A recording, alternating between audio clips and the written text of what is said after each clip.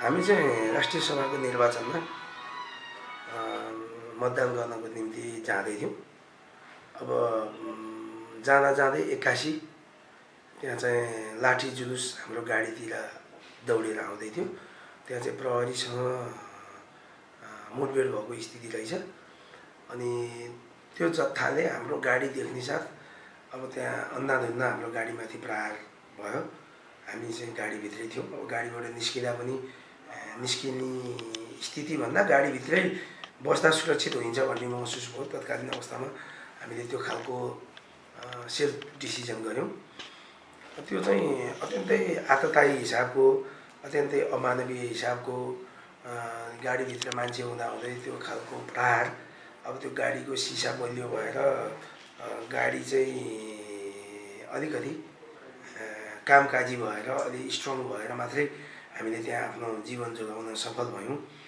अब राजनीतिका नाममा भएका त्यस्ता प्रदर्शनहरू ती निन्दनीय छन्। ती चाहिँ जवाफदेही छैनन् ती चाहिँ जिम्मेवार पनि छैनन्। किनभने एउटा बटुवा हामी त बटुवा जस्तै हो नि। हामी त मतदानको निम्ति गएका थियौँ। हामीलाई कुनै पूर्व सूचना पनि थिएन। त्यो कार्यक्रम हुँदैछ। त्यो कार्यक्रमले चाहिँ निर्वाचनमाथि कुनै असहमति जनाएको छ अथवा निर्वाचन प्रक्रियाप्रति कुनै राजनीतिक दलको आन्दोलन छ भन्ने पनि हामीलाई थाहा भएन। हामी एउटा इनोसेन्ट हिसाबले एउटा प्रदेशको राजधानी जस्तो ठाउँमा अत्यन्तै सुरक्षित छौँ भन्ने महसुस गरेर गयौँ। र त्यसले चाहिँ जब प्रहार सुरु हो तब अत्यन्तै दुःखदायी हो। त्यो दिन बाँचेर आउने सम्भावना धेरै कम थियो। तपाईँको चाहिँ त्यति ठुलो अराजक उदण्ड कुनै विवेकहीन चाहिँ एउटा जत्था हामीतिर अघि बढेर हामीमाथि प्रहार भयो। अब त्यसलाई हामीले एउटा यो चाहिँ राम्रो कुरा होइन राम्रो काम पनि होइन। जुन राजनीतिक दलले त्यस्ता चाहिँ अराजक तत्त्वहरूलाई बोकेर स्थापित हुन्छु भनेर सोचेको छ भने त्यो चाहिँ झन् राजनीतिमा एउटा दुर्भाग्य हुन्छ त्यो क्षति पनि हुन्छ। किनभने अहिलेको दुनियाँमा हामी लोकतन्त्र गणतन्त्र हामी चाहिँ सङ्घीयता सबै चिज हामीले राजनीतिक आन्दोलनबाट प्राप्त गरिसकेका छौँ। अब परिवर्तनका आन्दोलनहरू लाने आफू स्थापित हुने भने जनमतबाट जनताको भोटबाट हो। अब यो अहिलेको जुन यो टोलीले जुन राजनीतिक आवरणभित्र त्यो दिन जुन खालको घटनाहरू घटे त्यसमा चाहिँ आयोजकले जिम्मेवारी दिनुपर्ने आयोजकले त्यस्ता घटनाहरू हुन नदिनको निम्ति सावधानी अप्नाउनु पर्ने अब यो विगतमा लगातार कन्टिन्यू जस्तो भइरहेछ। यो चाहिँ हिजो माओवादीले जनयुद्ध गर्दाखेरि गरेका अराजक गतिविधि फोरमले मधेस आन्दोलन सुरु गर्दा गरेको अराजक गतिविधि र अहिले यो सिके रावतको पार्टीले जुन गतिविधि गरेका छ त्यसैलाई सिको गरेको जस्तो हामीले महसुस गरेका छौँ। अब हिजोको दुनियाँ र अहिलेको दुनियाँ फरक छ। हिजो राजनीति गर्ने तौर तरिका र अहिले राजनीति गर्ने तौर तरिकाहरू फरक छ। हिजो व्यवस्था विरोधी आन्दोलन गर्दा हिजो मान्छेले त्याग समर्पण तपस्या गर्नुपर्ने र अहिलेको राजनीति चाहिँ फटाफट तपाईँको मान्छे अगाडि आउने कुरा पृथक छ। हिजो जस्तो राजनीति गर्न अप्ठ्यारो छैन। अहिले राजनीति गर्न सजिलो छ र अहिले राजनीतिमा अलिकति केही विकृतिहरू यो एक दुईवटा परिवर्तनले जन्माएका छन्। सेन्टिमेन्टल विकृतिहरू। त्यो विकृतिलाई चाहिँ आधार मानेर जुन ढङ्गको अहिले यो गतिविधि गरिरहेको छ त्यो पार्टीको पनि हितमा छैन। तपाईँ हेर्नुहोस् माओवादी पनि जसरी अघि बढ्यो त्यसरी नै सिद्धियो। जनताले समीक्षा गरे। हिजो तपाईँको उदण्ड हिसाबले माओवादी आन्दोलन अघि बढ्यो त्यसपछि नेतृत्वमा टक्राव भयो र अब चाहिँ यो विसर्जनको स्थितिमा छ। तपाईँको चाहिँ मधेसमा आन्दोलन गर्ने भनेर एउटा चाहिँ उपेन्द्र यादवले जुन अभियान चलाए त्यो पनि विखण्डित हुँदै हुँदै एउटा विसर्जन हुने स्थितिमा छ। र अहिले सिक्किम राउतको पनि जे गतिविधि छ यो लङ टर्म जाँदैन। यस्ता गतिविधिले जनतामा भरोसा विश्वास पनि हुँदैन। हामीलाई राष्ट्रिय अन्तर्राष्ट्रिय जगतले पनि मूल्याङ्कन समीक्षा गरिरहेको छ। हामी चाहिँ शान्तिपूर्ण रूपमा चाहिँ यो संविधानको मर्म र भावनालाई बोकेर राजनीति गर्ने राजनीतिक पार्टीले यस्ता खालका उदण्ड चिजहरू बोकेर अब यो लाठी बोकेर कसैले खुकुरी बोकेर कसैले भाला बोकेर कसैले बन्दुकै बोकेर यी खालका आन्दोलन गर्ने खालको एउटा स्थिति भयो भने भोलिका दिनमा अरूले पनि यो सिको गर्छन्। यो चाहिँ मुलुक मुठभेडमा जाने स्थिति हुन्छ। अब कुनै पनि राजनीतिक दलमाथि बिना कारण चाहिँ प्रहार भयो भने त्यो राजनीतिक दल पनि चुप लागेर बढ्दैन त्यसले पनि प्रतिकारमा उत्रिने एउटा स्थिति हुन्छ र यसले हामीलाई द्वन्द्व हामी जुन द्वन्द्वबाट मुक्त भयौँ अब हामी चाहिँ एउटा खुला प्रतिस्पर्धाबाट जनताको जनमतबाट राज्य सत्तामा पुग्छौँ भन्ने जुन खालको हाम्रो चाहिँ एउटा विश्वास थियो त्यो विश्वास पनि भोलि भत्किन सक्छ बिग्रिन सक्छ। र यसले मुलुकलाई राजनीतिक पार्टीलाई आन्दोलनलाई कुनै चिजलाई पनि फाइदा गर्दैन। त्यसैले त्यो उदण्ड व्यवहार उदण्ड गतिविधि उदण्ड क्रियाकलाप भोलि त्यही पार्टीको निम्ति पनि घातक हुन्छ। हामीले देखेका छौँ। अब कसैलाई तपाईँले चाहिने भन्दा बढी चढाउनु भने पछि त्यही तपाईँको निम्ति एउटा चाहिँ ठुलो समस्याको विषय बन्न सक्छ। हजुर हजुर। मेयर साहब यहाँले अगाडि जुन भन्नुभयो नि हामी गाडीभित्र नै रहनु सुरक्षित ठान्यौँ त्यही भएर गाडीभित्र बाट बाहिर निस्किने निस्किएनौँ त्यसैले पनि हामी जोग्यौँ भन्नुभयो। यहाँलाई पछि चाहिँ यस्तो लागेन? बाहिर वे तिनीहरूले हामी गाडीभित्र हुँदैखेरि आगो लगाएको भए त्यहाँ स्थिति अर्को हुन सक्थ्यो। त्यो चाहिँ तपाईँलाई पछि लागेन? के भन्नुहुन्छ यो विषयमा? त्यो हामीले फिल गऱ्यौँ। त्यो फिल गऱ्यौँ। हामीले कस्तो भने त्यहाँ हामी यदि हामी हामी आक्रमणबाट यस्तो खालको व्यवहार मान्छेले गर्छ भन्ने हामीलाई लाग्थ्यो भने हामी उद हामी अराजक थियौँ भने हामी त्यो गाडी सरासरी लान सक्थ्यौँ। एक दुईजना मान्छेलाई पेलेर पनि हाम्रो गाडी मजाले आराम जान सक्थ्यौँ। तर हामी राजनीतिक प्राणी हो एउटा राजनीतिक आन्दोलन गरेका मान्छेहरूलाई हामीले जबरजस्ती जानु हुँदैन।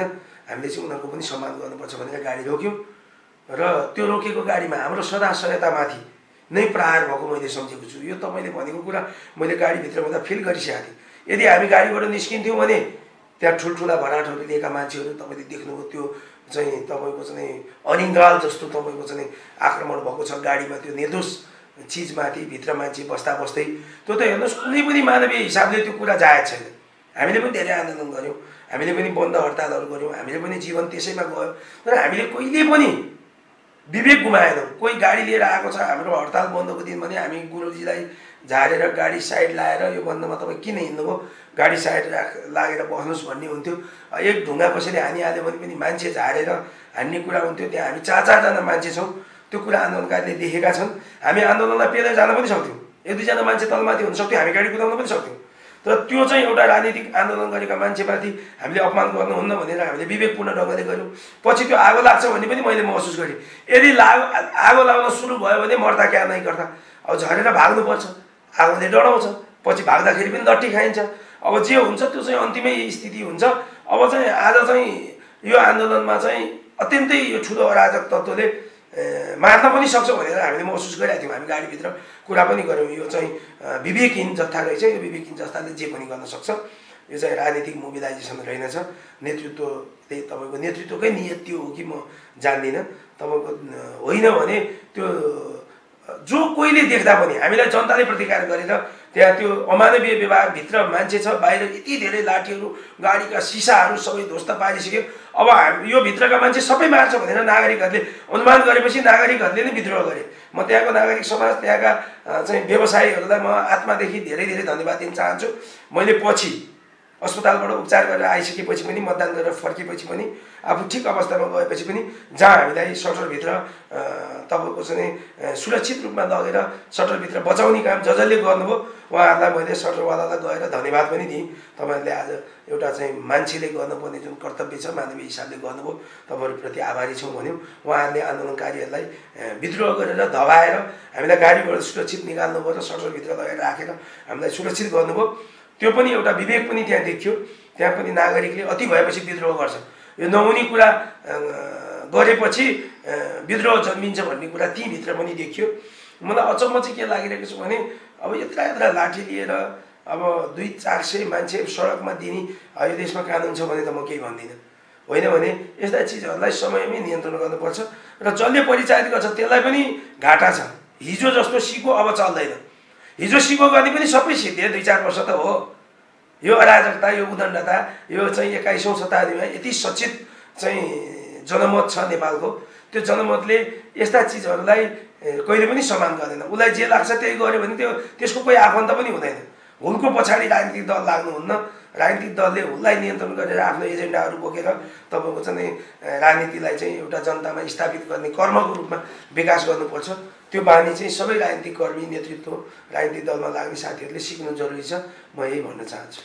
हजुर जस्तै एउटा नेपालीमा उखान छ धान खा मुसाले चोट पाए भ्यागुताले भने जस्तै ती आन्दोलनकारी जसले तपाईँहरू सवार गाडीमा तोडफोड गरे तिनलाई चाहिँ प्रहरीले उताबाट लखाट्दै आएको थियो अनि अगाडि तपाईँहरूलाई भेट्यो त्यसैले अन्धाधुन्दा लाठी प्रहार गर्न थाल्यो। भन्ने मिडियाहरूमा पनि आयो। त्यो हो या तपाईँहरूलाई टार्गेट नै गरेको हो? के हो? के लाग्छ तपाईँलाई? मलाई चाहिँ अब यो आन्दोलनको सेन्टिमेन्ट हो भन्ने लाग्छ टार्गेट गरेर। अब त्यो दिन केही सरकार सवारी साधनहरू चाहिँ हान्ने कुरा हुनसक्छ। त्यो चुनावलाई बिथोल्ने हिसाबले त्यो पार्टीले प्लान बनाएको पनि हुनसक्छ। मैले त्यति बेला महसुस गरेको चाहिँ यो प्रहरीको झडपमा आएको एउटा चाहिँ त्यतातिरबाट भाग्दै गरेको जत्थाले अब सरकारी गाडी देखेर अथवा प्राइभेट गाडी देखेर हान्न सक्छ। त्यो खालको चाहिँ देखिएको तर त्यो हान्ने पनि तपाईँको एउटा मानवता हुन्छ। त्यो हान्ने पनि यसो तर्साउन यसो साङ्केतिक रूपमा एउटा सिसा फुटाउन दुइटा सिसा फुटाउन हान्न सकिन्छ कि?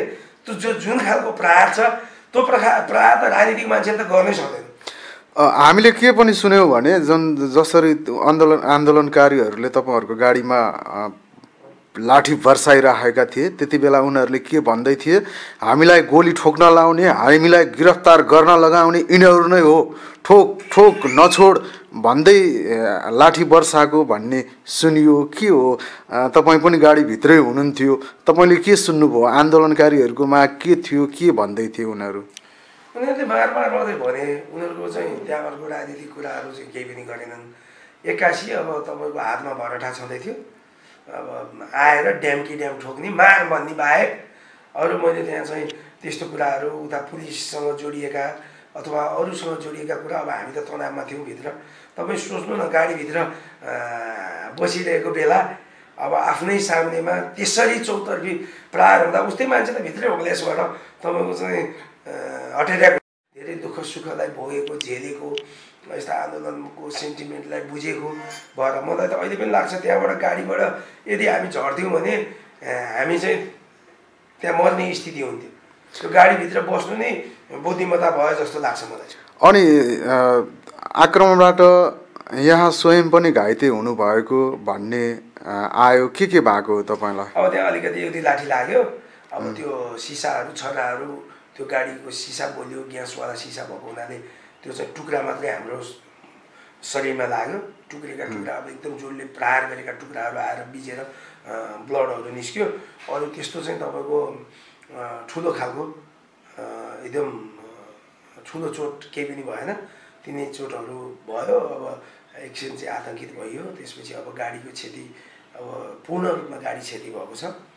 र सामान्य घाइतेको अवस्थामा हामीलाई त्यहाँको जनताले पहिला बचायो त्यसपछि पुलिसले रेस्क्यु गर्यो र हामी चाहिँ मतदानमा गयौँ। हजुर हजुर। तपाईँहरूलाई स्थानीयले नबचाएको भए त्यहाँको अवस्था कस्तो हुन्थ्यो होला? जे पनि हुन सक्थ्यो मैले चाहिँ आज विभिन्न खालका अनेक खालका घटनाहरू हामी राजनीतिमा देखेका छौँ नि लडाइँको बिचमा। हामीले जस्तो गौर घटना पनि देख्यौँ भोग्यौँ सुन्यौँ होइन? त्यस्तै खालका एउटा घटना। सुनियोजित रूपमा पार्टीलाई बलियो बनाउनको निम्ति मान्छेको चाहिँ त्यहाँ कुनै न कुनै खालको दुर्घटना होस् त्यो सेन्टिमेन्ट बढोस् त्यो सेन्टिमेन्टलाई बोकेर जाउँ भन्ने उद्देश्य छ कि जस्तो मैले त्यहाँ महसुस गरेँ। अब त्यो त आयोजकले फिल गर्ने कुरा हो अब आयोजकले हामीसँग कुरा गरेको पनि छैन।